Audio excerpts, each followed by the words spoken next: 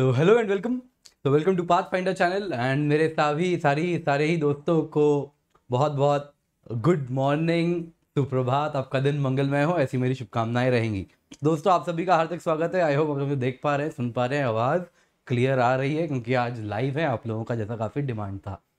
तो दोस्तों, आपको बता दूँ, आज का जो टॉपिक है हमारा, वो है बायोटिक इंटरेक्शन टाइप्स तो अगर आप देखें तो बायोटिक इंटरेक्शन में, क्योंकि हम इकोसिस्टम एज अ होल जब पढ़ रहे हैं तो उस टॉपिक में अगर आप देखें तो हम जो टॉपिक पढ़ रहे हैं इकोसिस्टम पढ़ रहे थे, उसमें जैसे हमें मालूम है, एक पेड़ है तो वो एक जीव, जैव है बायोटिक है, वो बायोटिक कंपोनेंट उस इकोसिस्टम में किस पर निर्भर करता है?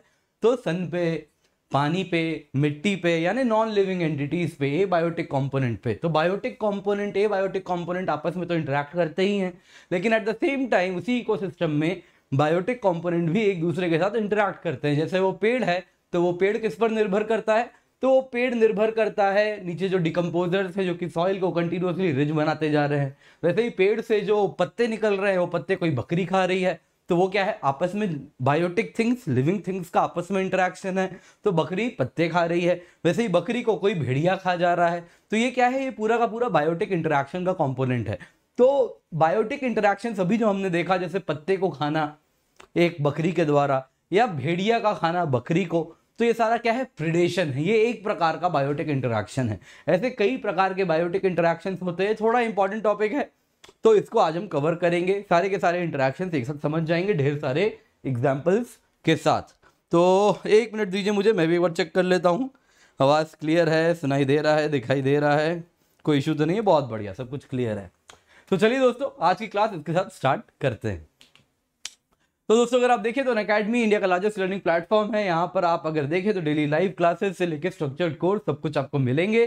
आप अगर देखें तो अकेडमी में इंडिया के लीडिंग एजुकेटर्स हैं और उनके द्वारा बनाया गया ढेर सारा कोर्स तो जो दोस्त मुझसे पहली बार जुड़ रहे हैं, उनके लिए मेरा नाम किंजल चौधरी है। ये मेरी अन अकेडमी की प्रोफ़ाइल है। यहाँ पर आप मुझे फॉलो कर सकते हैं और ये मेरा टेलीग्राम चैनल है, जहाँ पर आप मुझसे जुड़ भी सकते हैं।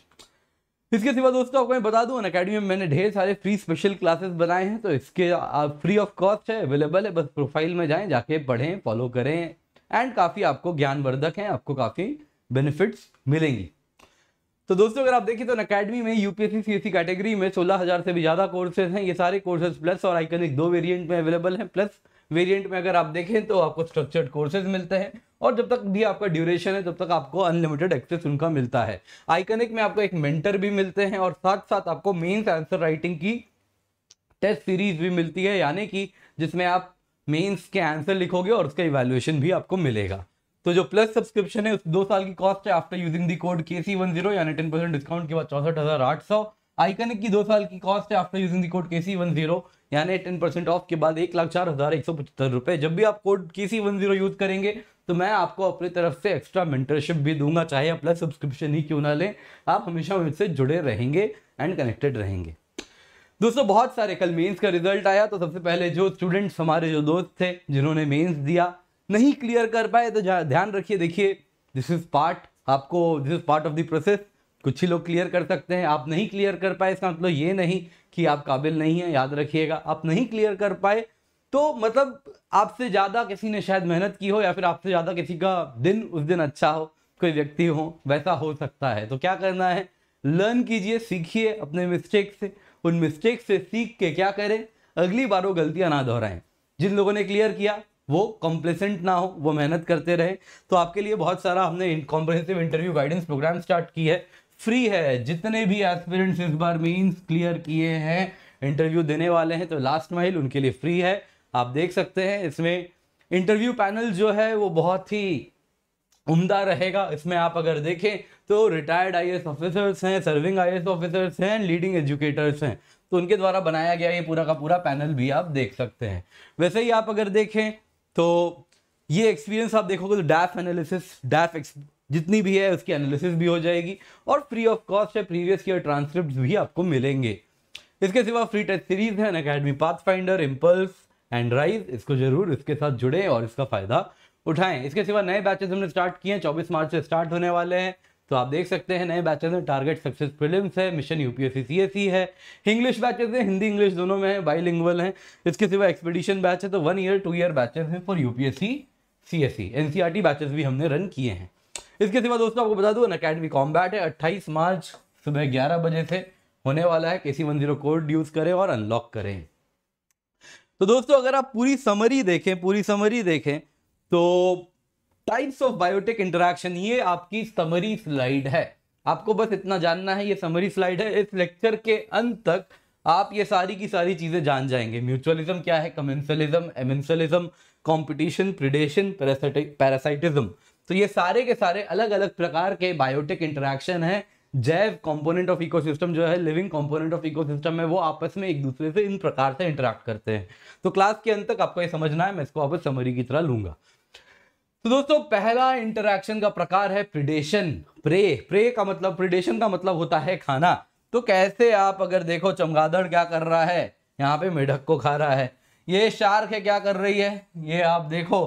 तो इसको खा रही है, आप अगर देखो तो पेंगुइन को खा रही है। वैसे यहाँ पे देखो, क्रेन क्या कर रहा है? मेढक को खा रहा है। भालू क्या कर रहा है? मछली को खा रहा है। तो ये क्या है? प्रिडेटर प्रे रिलेशनशिप कैसा है? दो बायोटिक कंपोनेंट दोनों जैव हैं, लेकिन एक स्पीशीज क्या कर रही है? दूसरे को खा रही है। भक्षक है, उसका भक्षण कर रही है। तो one species feeds on the another और इस प्रकार से जो स्पीशीज जिसको खा रही है, उसकी फिटनेस पहले से बेहतर हो जा रही है इनहेंस हो जा रही है, लेकिन दूसरा प्रे का क्या हो जाएगा? या तो मर जाएगा, या फिर कुछ पार्ट वार्ट खा लिया उसका तो अधमरा हो जाएगा एंड उसकी फिटनेस कम हो जाएगी। तो प्रिडेशन रिलेशनशिप अगर आप देखें तो इसमें क्या हो रहा है, आप अगर देखो तो एक को फ़ायदा होता है, एक को नुकसान होता है। तो इस प्रकार का रिश्ता क्या है? प्रिडेटरी रिलेशनशिप जिसमें एक स्पीशीज दूसरे को खाए और अपना सेहत बढ़ाए, दूसरे को नुकसान हो जाए। नेक्स्ट अगर आप देखो प्रिडेशन का ही एक प्रकार है हर्बीवोरी हर्बीवोरी का मतलब हंटिंग ऑफ़ प्लांट्स तो ये एक्ट ऑफ़ ईटिंग प्लांट्स को कहते हैं हर्बीवोर तो ये अगर आप देखो हर्बीवोरी अगर आप देखो तो और कुछ नहीं है, एक फॉर्म ऑफ़ प्रिडेशन है. तो पत्ते खाना, बकरी का पत्ते खा लेना, ये भी क्या है प्रिडेशन है. एक स्पीशीज का फ़ायदा है, दूसरे का नुकसान है. तो वो क्या है प्रिडेशन है. तो वो हर्बीवोरी क्या है, एक प्रकार का प्रिडेशन है, जिसमें क्या हो रहा है प्लांट कम्युनिटीज को खाया जा रहा है किसी दूसरे कंपोनेंट के द्वारा। नेक्स्ट इंटरेक्शन अगर हम देखें तो वो है पैरासिटिज्म। तो इसमें क्या है कि इसमें भी एक को फ़ायदा है, एक को नुकसान है लाइक प्रिडेशन लेकिन साथ में और भी चीज़ें हैं। पैरासिटिज्म में अगर आप देखो तो एक स्पीशीज क्या करता है कि वो दूसरे पे न्यूट्रिशन के लिए निर्भर तो होता ही है, लेकिन साथ साथ उसके शरीर में भी रहे इस दौरान। काफ़ी क्लोज रिश्ता हो जाए, जिसका वो भक्षण कर रहा है, जिसको नुकसान पहुँचा रहा है, उसके साथ रहे और धीरे धीरे करके उसको खोखला करे तो वो क्या हुआ? पैरासिटिज्म तो पैरासिटिज्म में आप अगर देखो तो एक स्पीशीज दूसरे पे न्यूट्रिशन के लिए निर्भर करता है, लेकिन उसके अंदर भी रहता है। तो ये जो जीव एक तरफ़ पैरासाइट है और जिसके शरीर में वो जीव रह रहा है, वो क्या कहलाता है? होस्ट। तो पैरासाइट क्या करता है? होस्ट के शरीर में भी रहेगा और इस प्रकार से धीरे धीरे इसका खाना भी चुरा के खाना शुरू करेगा और इसी दौरान धीरे धीरे इस होस्ट को वो कमज़ोर भी करता जाएगा। तो कह सकते हैं घर का भेदी लंका ढाई जैसा है, आपके शरीर में रहेगा और आपको नुकसान पहुंचाता रहेगा। तो क्या लेता है पैरासाइट बदले में? नरिशमेंट लेता है, इसका खाना चुराता है और साथ साथ शेल्टर भी लेता है क्योंकि इसके घर में रहता है। तो टेप वर्म, राउंड वर्म, शरीर में बैक्टीरिया फंगा ये सब क्या है? अलग अलग प्रकार के पैरासाइट हो सकते हैं। प्रोटोजोआ अलग अलग प्रकार के पैरासाइट हो सकते हैं। तो कई लोग कहते हैं मच्छर एक पैरासाइट है। अब सवाल उठता है, क्या मच्छर एक पैरासाइट है? क्या ये बात सही है? क्या मच्छर एक पैरासाइट है? नहीं साहब, मच्छर को पैरासाइट आप नहीं कह सकते, क्योंकि जो फीमेल एनोफिलिश मॉस्किटो होती हैं, जो कि मलेरिया या फिर डेंगू फीमेल एनोफिलिश मलेरिया जो आपको किसी को भी दे सकती है, संक्रमित कर सकती हैं, वो फीमेल एनोफिलिश मॉस्किटो अगर आप देखें तो वो न्यूट्रिशन एज सच लेने के लिए खून नहीं पीती। वो इसलिए पीती है क्योंकि जब उसको अंडे देने होते हैं फीमेल एनोफिलिस को, उस वक्त उसे चाहिए होता है प्रोटीन, उसे चाहिए होता है आयरन तो वो खून से निकाल लेती है। उसकी बस इतनी ही रिक्वायरमेंट है। बाकी उसका जो होस्ट के साथ रिश्ता है होस्ट के साथ रिश्ता है, वो बहुत शॉर्ट लिव्ड है। कुछ सेकंड्स का है। कुछ सेकंड में बैठी, खून पी और भाग गई। तो ये क्या है? होस्ट के शरीर में नहीं रह रही। अंदर से खोखला नहीं कर रही। तो इसीलिए मॉस्किटो को एक पैरासिटिज्म मॉस्किटो और ह्यूमन का जो रिश्ता है, उसे पैरासिटिज्म के अंदर इंक्लूड नहीं किया जाता। लेकिन उस मॉस्किटो के शरीर में एक प्रोटोजोआ रहता है प्लाज्मोडियम अलग अलग प्रकार का आपने अगर किसी को मलेरिया हुआ है तो आपने देखा होगा रिपोर्ट में होता है। प्लाज्मोडियम वाइवैक्स प्लाज्मोडियम फाल्सीपेरम अलग अलग प्रकार का प्रोटोजोआ है अलग अलग टाइप का मलेरिया करवाते हैं। तो जो वाइवैक्स है या फिर फाल्सीपेरम है, ये सब क्या है? अलग अलग प्रकार के प्रोटोजोआ हैं। ये उस मच्छर के शरीर मच्छर के शरीर में रहते हैं और मच्छर के शरीर से वो न्यूट्रिशन लेते हैं। जब मच्छर इंसान के शरीर में बैठता है खून पीने तो वो प्रोटोजोआ ह्यूमंस में भी आ जाता है। तो अब वो प्रोटोजोआ इंसान के शरीर में रहेगा और न्यूट्रिशन खींचेगा और इंसान को बीमार करेगा। तो ये जो रिश्ता है, वो क्या हो गया? पैरासिटिज्म। तो मच्छर और इंसान का रिश्ता पैरासिटिक नहीं है, लेकिन उस प्लाज्मोडियम वाइवैक्स नाम के प्रोटोजोआ का इंसान के साथ रिश्ता कैसा हुआ? वो अगर आप देखो तो वो पैरासिटिक इन नेचर हुआ। तो आई होप ये समझ आई आप लोगों को तो मैं भी देख लेता हूँ, कुछ कमेंट्स अगर हैं, कुछ डाउट है तो बढ़िया। चलिए, अगले टॉपिक पर चलते हैं इसके साथ। तो पैरासिटिज्म के बाद अगला रिश्ता है म्यूचुअलिज्म म्यूचुअलिज्म मतलब क्या हुआ? एक दूसरे को फ़ायदा देना, मदद पहुंचाना। तो दैट इज़ म्यूचुअलिज्म तो म्यूचुअलिज्म अगर आप देखो तो एक टाइप ऑफ़ सिंबायोटिक रिलेशनशिप है, जिसमें दोनों स्पीशीज एक दूसरे से बेनिफिट उठाएँ। जैसे कि कोरल। कोरल अगर आप देखो तो उसमें दो चीज़ें होती हैं। एक तरफ़ आप देखो तो कोरल एनिमल जिसको हम कहते हैं पॉलिप और इसके शरीर में आप अगर देखो तो एक एल्गी रहती है, जिसका नाम है जूज एंथेलाइन एक शरीर में एक एलगी रहती है। अब अगर आप देखो तो पॉलिप जूजेंथेलाई को क्या देता है?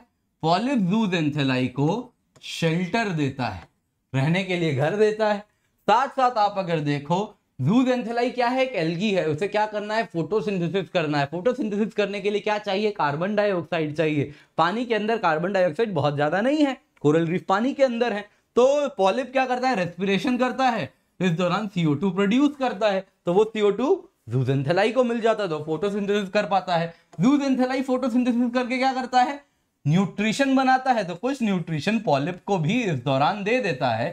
स्पेशली कुछ न्यूट्रिशन ऐसे होते हैं मिनरल्स ऐसे होते हैं, जो कि पॉलिप को कैल्शियम कार्बोनेट का एक्सोस्केलेटन बनाने में मदद करते हैं। तो ये जो रिश्ता है, दोनों जीव एक दूसरे के साथ रहते हैं और एक दूसरे को मदद पहुंचाते हैं। ये क्या है? सिम्बायोटिक रिलेशनशिप, एक ऐसा है म्यूचुअलिज्म, एक दूसरे को बेनिफिट पहुँचाने वाला। तो ये आपको याद रखना है। वैसे ही आप अगर देखो, वैसे ही आप अगर देखो तो और एक प्रकार का सिम्बायोटिक रिलेशनशिप है। ये हनी बी को देखो। हनी बी क्या कर रही है?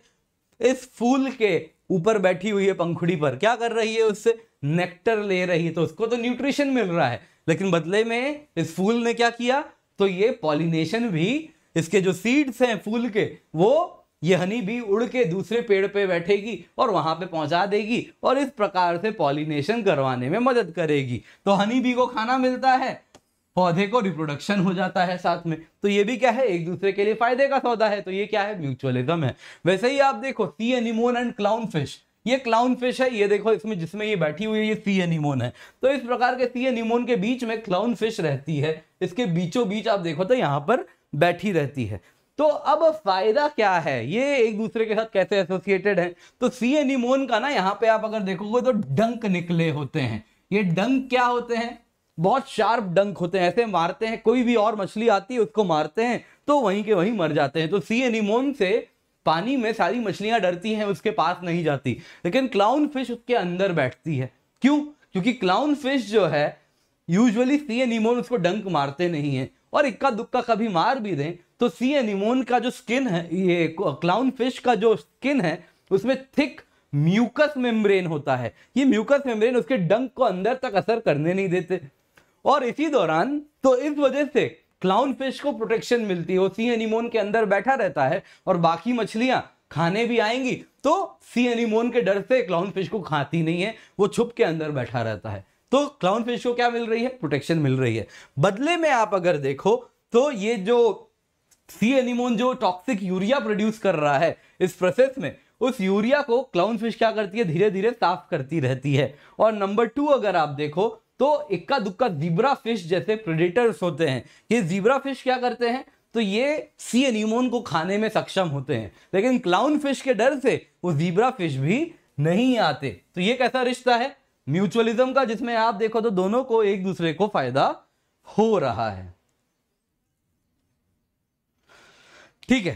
तो नेक्स्ट अगर आप देखो इंटरेक्शन है कंपटीशन तो कंपटीशन अगर आप देखो, ये वो रिश्ता है जिसमें एक स्पीशीज को बेनिफिट होती है और दूसरा अनएफेक्टेड दूसरा भी अगर आप देखो तो दूसरे को दूसरे को उसका न्यूट्रिशन खींचा जा रहा है। तो रिलेशन में species benefit other is negatively affected ठीक है? जिसमें एक को बेनिफिट हो रहा है और दूसरे को नेगेटिवली इफ़ेक्ट किया जा रहा है। क्यों? कंपटीशन है। एक को फ़ायदा होगा, दूसरे को नुकसान होगा। एक का कॉमन शेयर्ड रिसोर्सेज हैं लिमिटेड रिसोर्सेज हैं, उसी को लेके संघर्ष चल रही है। संघर्ष चल रही है तो एक उसका फ़ायदा उठा पाएगा, दूसरे को इसका हर जाना भरना पड़ेगा। जैसे कि जैसे कि आप देखो तो एक हिरण का शिकार हुआ है। यहाँ पे बेचारा लायन ने शिकार किया, तभी तक में यहाँ पे इतने सारे हाइना आ गए।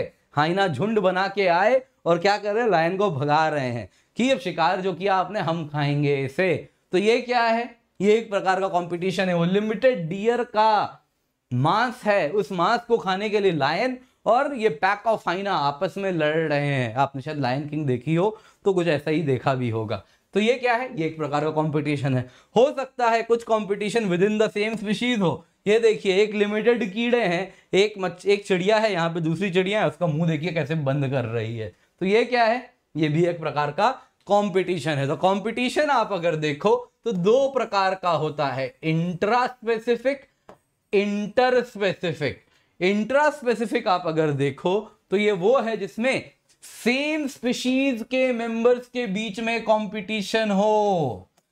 एक इलाका है, वहाँ पे पेड़ है। ये पेड़ ने क्या किया? नीचे छाव किया तो दूसरा पेड़ भी ऊँचा उगना शुरू कर दिया कि ना सनलाइट तो मुझे भी चाहिए, मैं भी ऊँचा उठूँगा। तो सनलाइट के लिए कंपटीशन हो रहा है तो ये कैसा कंपटीशन है इंट्रा स्पेसिफिक सेम स्पीशीज में जब कंपटीशन हो, दूसरा इंटर स्पेसिफिक यानी डिफरेंट डिफरेंट स्पीशीज में हो लायन और हाइना में हो रहा है फॉर दी लिमिटेड रिसोर्स ये कहता है इंटर स्पेसिफिक कॉम्पिटिशन तो ये याद रखिएगा। नेक्स्ट अगर आप देखें तो है एमिनसलिज्म एमिनसलिज्म को ही एंटीबायोसिस भी कहते हैं. तो एमिनसलिज्म क्या होता है? इसे मज़े लेने हो गए. एक स्पीशीज को तो नुकसान हो जाता है. वहीं अगर आप दूसरा स्पीशीज देखो तो उसको ना फ़ायदा, ना नुकसान. वो क्या किया? बस उसके मज़े ले लिया. तो ऐसे रिश्ते को क्या कहेंगे? एमिनसलिज्म कहेंगे. फॉर एग्ज़ाम्पल आपने सुना होगा, बचपन में शायद कभी कहानी पढ़ी होगी एंटीबायोटिक्स कैसे बना? तो एंटीबायोटिक्स कैसे बनी थी? तो आपको सुना होगा कि ब्रेड मोल्ड वाला एक आप अगर देखो तो ब्रेड मोल्ड वाला फंजाई था, पेनिसिलियम। वो क्या हुआ? एक पिटर डिश था जिसमें कुछ बैक्टीरिया रखे थे। वो उड़ के उसमें गिर जाता है और बैक्टीरिया धीरे धीरे वो उसके साथ आते ही खत्म होने लग जाते हैं। तो बैक्टीरिया का नुकसान हो जाता है और ब्रेड मोल्ड फंजाई क्या कर देता है? उसको खाता नहीं है। उसको खाता नहीं है, बस उसको मार देता है। कुछ एंजाइम्स रिलीज़ करके। तो ये जो रिश्ता है जिसमें क्या हुआ? फंजाई को क्या हुआ? पेनिसिलियम नाम का जो फंजाई था, उसे क्या हुआ? क्या उसे फ़ायदा हुआ? नहीं, उसको ना फ़ायदा हुआ। खाता तो उसका फ़ायदा होता, उससे न्यूट्रिशन लेता, लेकिन उसको फ़ायदा नहीं हुआ। वो बस क्या किया? उसको मार दिया। तो उसको ना फ़ायदा हुआ, ना नुकसान हुआ। लेकिन बैक्टीरिया का क्या हो गया? वो तो बेचारा मर गया। तो उसको क्या हो गई? नुकसान हो गई। तो ये जो रिश्ता है, इसमें एक को माइनस है, यानी नुकसान, और दूसरे को क्या है? ज़ीरो यानी ना फ़ायदा ना नुकसान। तो माइनस ज़ीरो वाला रिश्ते को कहते हैं एमेंसलिज्म इसी का दूसरा नाम है एंटीबायोसिस तो ये भी आपको याद रखना है। एमेंसलिज्म दोस्तों अलग अलग प्रकार के हो सकते हैं। एक बड़ा पेड़ क्या करता है? छोटे पेड़ को छाव में डाल देता है। छाव में डाल देता है, वो बड़ा पेड़ है, छोटे पेड़ को सनलाइट नहीं आने दे रहा है, आपने छाव में रख दिया। तो क्या हो रहा है? बड़ा पेड़ तो उसको ना फ़ायदा, नुकसान, वो तो अपना जीवन वैसे ही जीता है, जैसे जी रहा है। लेकिन एक छोटा प्लांट है, उसके शेड में उस तक सनलाइट नहीं पहुँच रही तो उसके लिए क्या हो गया? माइनस तो ये कैसा रिश्ता है? एमिनसलिज्म है। वैसे ही एलिलोपैथी एक बहुत इंपॉर्टेंट टर्म है। आपको याद रखना है यूपीएससी ने मेंस में भी पूछा है एलिलोपैथी घुमा के। तो एलिलोपैथी क्या है? आइए पहले उसको जान लेते हैं। तो कुछ पौधे क्या करते हैं? वो इकोसिस्टम में कुछ केमिकल्स रिलीज़ करते हैं। ये केमिकल्स क्या करते हैं? कि आसपास के प्लांट्स को ग्रो होने से ही रोक देते हैं। फॉर एग्ज़ाम्पल ब्लैक वॉलनट का जो पेड़ होता है, आप देख रहे हो यहाँ? इसके रूट जो है ना यहाँ पे आप देख रहे हो, ये रूट्स क्या करते हैं? एक जगलोन एक जगलोन नाम का एक केमिकल रिलीज़ करते हैं सब्सटेंस रिलीज़ करते हैं सॉइल में। तो ये सॉइल में जगलोन छोड़ देते हैं।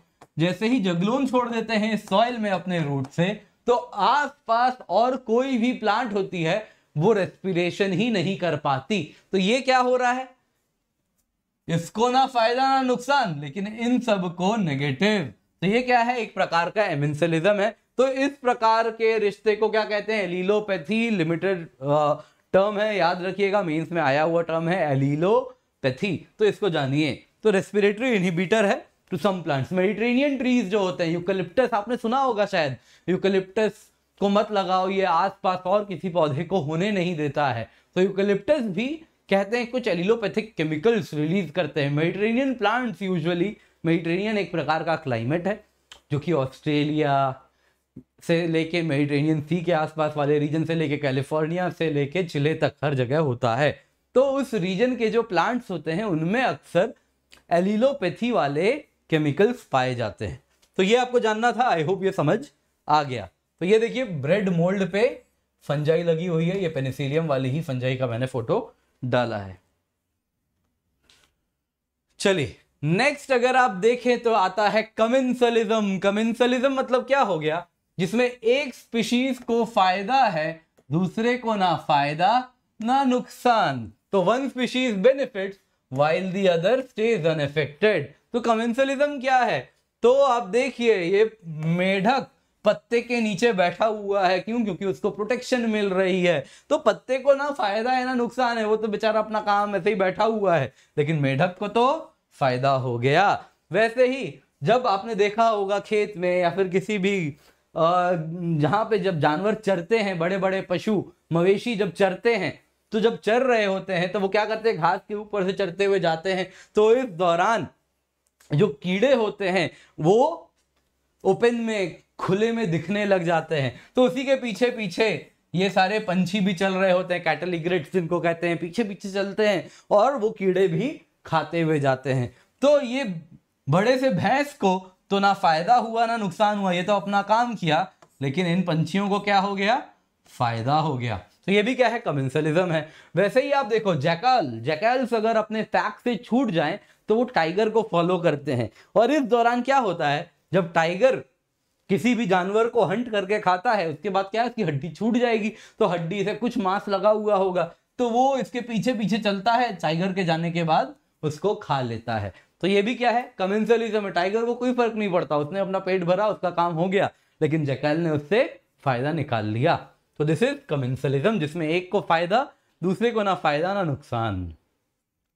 आखिरी रिश्ता देखिए तो न्यूट्रलिज्म ये वो रिश्ता है, जिसमें दोनों स्पीशीज एक दूसरे से खास लेना देना ही ना रखें। एक दूसरे को ना इफ़ेक्ट हो, ना इफ़ेक्ट करे। तो रिश्ता है ही नहीं, कुछ लेना देना ही नहीं है। तो this is neutralism for example आप अगर देखो गोभी डेजर्ट में एक जगह पे रेगिस्तान है। वहीं कहीं पर इक्का इक्का दुक्के लोकेशन ऐसे होते हैं जहाँ पानी जमती है। तो वहाँ पर क्या हो जाता है? तो एक छोटा सा पॉन्ड बन रहा है। तो उस पॉन्ड में एक टेडपोल रहता है। तो टेडपोल श्रिम्प रहती है, ये देखिए यहाँ पे रह रही है। और उसी लोकेशन में कैमल अपना घूम रहा है, रेगिस्तान में कहीं इधर उधर। तो दोनों एक दूसरे से कोई इम्पैक्ट कोई रिश्ता नहीं है खास। तो ये क्या है? न्यूट्रलिज्म दोनों में कोई रिश्ता ना हो, दोनों एक दूसरे के अस्तित्व को छेड़े भी नहीं, उनको पता भी नहीं हो, रह भी रह रहे अपने घर पे, हमें क्या? तो दोनों एक दूसरे को अफेक्ट ना करें, ये क्या हुआ? न्यूट्रलिज्म हुई। तो जल्दी से दोस्तों समरी देखते हैं हम उस टेबल के माध्यम से जो मैंने कहा था, आपको समरी शीट है तो जो आपको याद रखना है तो आइए जल्दी से इसको समझते हैं।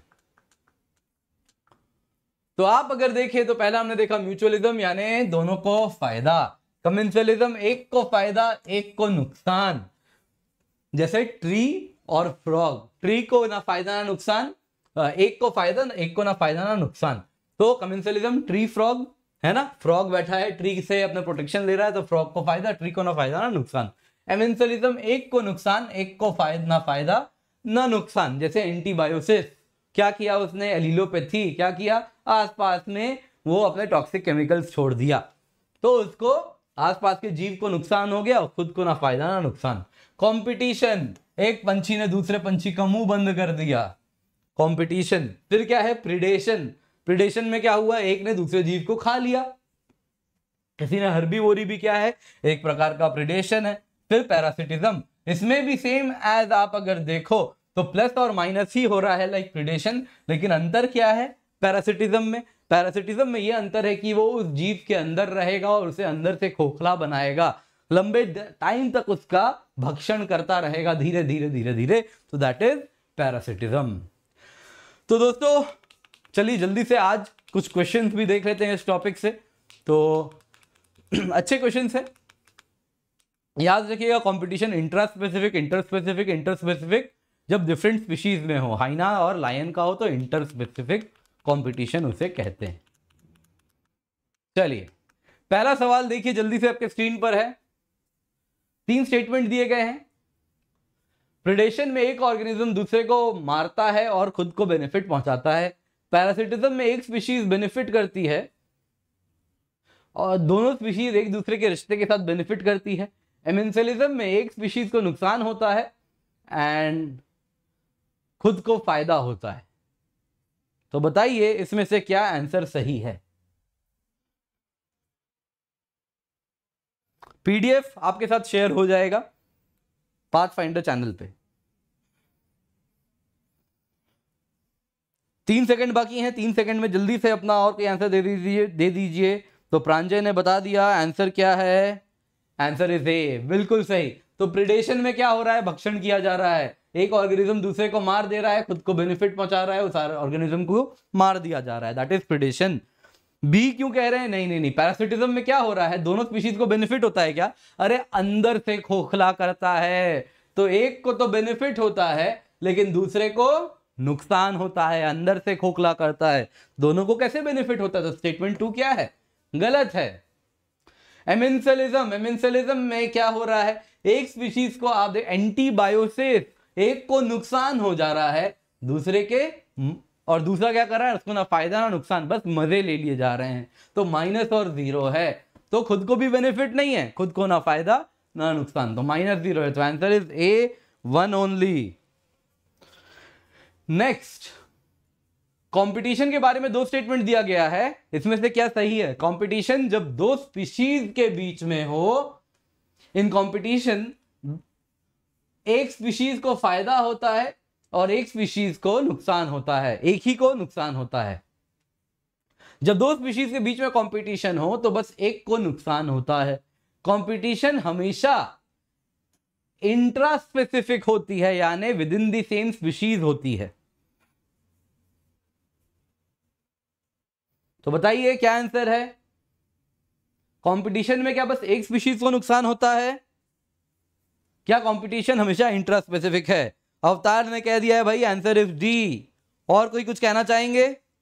ए डी परविंदर कह रहे हैं डी स्मृति कह रही हैं ए ठीक है तो आंसर क्या है? अगर देखिए answer is again D neither one not two दोनों स्टेटमेंट गलत है। कंपटीशन अगर आप देखें, दो स्पीशीज के बीच में दोनों को नुकसान होता है। दोनों को नुकसान हो रहा है। लिमिटेड रिसोर्सेज हैं, उसके लिए संघर्ष की जा रही है। तो दोनों को, वो भी थोड़ा उस रिसोर्स को ले रहा है, वो भी उस रिसोर्स को ले रहा है, और दोनों को कुछ कुछ नुकसान हो रहा है। कंपटीशन अगर आप देखो तो इंट्रा स्पेसिफिक भी होता है within the population of the same species भी होता है। एक पंछी दूसरे का मुँह बंद कर रहा है इंट्रा स्पेसिफिक इंटर स्पेसिफिक भी होता है। वो हाइना आ गए थे लायन के पीछे पीछे तो इंटर स्पेसिफिक भी होता है। विद इन टू स्पीशीज भी होती है। तीसरा फाइनल पेनिसिलियम का जो एसोसिएशन है, जिसमें पेनिसिलियम एक पेनिसिलिन प्रोड्यूस करता है, जो कि एक एंटीबायोटिक सब्सटेंस है, जो कि बैक्टीरिया को मार दे रहा है। ये क्या है? क्या ये कमेंसलिज्म है मेंसलिज्म है न्यूट्रलिज्म है या कंपटीशन है? आखिरी सवाल आज का। एंटीबायोटिक वाला जो रिश्ता है, जिसमें पेनिसिलिन एक बैक्टीरिया को मार दे रहा है, वो क्या है? वो कमेंसलिज्म है न्यूट्रलिज्म है, या सी एमेंसलिज्म है, या डी कॉम्पिटिशन है? थ्री का C perfect perfect answer is C का थ्री का सी है antibiosis A for antibiosis A for amensalism याद रखिएगा, आपको हमेशा याद रहेगा। बिल्कुल, बहुत बढ़िया answer is C answer is C answer is C बहुत बढ़िया तो इसके साथ दोस्तों, आज की क्लास यहीं पर हम समाप्त करेंगे। जब भी path finder test series free of cost start हो चुकी है Monday Tuesday Wednesday Thursday Friday Saturday हर दिन अलग अलग टॉपिक्स हैं। महिपाल सर के ही लीडरशिप में है ये सारी टेस्ट सीरीज़ तो आप समझ सकते हैं कि बेस्ट क्वालिटी कंटेंट आपको मिल रहा है। फ्री ऑफ़ कॉस्ट है एक्साइटिंग प्राइजेज हैं। आप देख सकते हैं स्क्रीन में प्राइजेस भी आपको मैंशन है। तो Monday to Saturday twelve thirty P ये टेस्ट होती है। जब भी अन अकेडमी पर आए, बाकी यूज़ दी code K C one zero इससे आपको सिर्फ़ टेन परसेंट ऑफ़ नहीं मिलेगा। बेस्ट मेंटरशिप मिलेगी डायरेक्ट हैंड होल्डिंग मिलेगी बेस्ट नोट्स मिलेंगे और जो गाइडेंस है, वो सारे subjects of G S S and geography optional को कवर करती है। दोस्तों, जब भी आए यूज़ दी code K C one zero बाकी इस वीडियो को अगर पसंद आया हो तो ज़रूर लाइक करें एंड अपने दोस्तों को भी बोलें एंड मोस्ट इंपॉर्टेंटली ये चैनल ज़रूर सब्सक्राइब करें, क्योंकि यंग चैनल है तो आप लोगों की सपोर्ट की अभी हमेशा हमें प्यार और इसकी आवश्यकता हमेशा रहेगी। Thank you so much thank you so much for joining have a great day